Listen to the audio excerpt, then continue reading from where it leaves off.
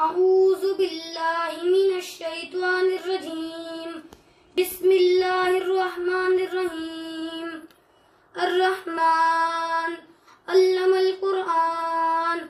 خلق الإنسان علمه البيان.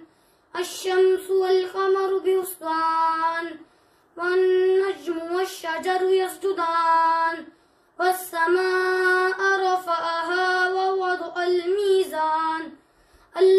تطغوا في الميزان.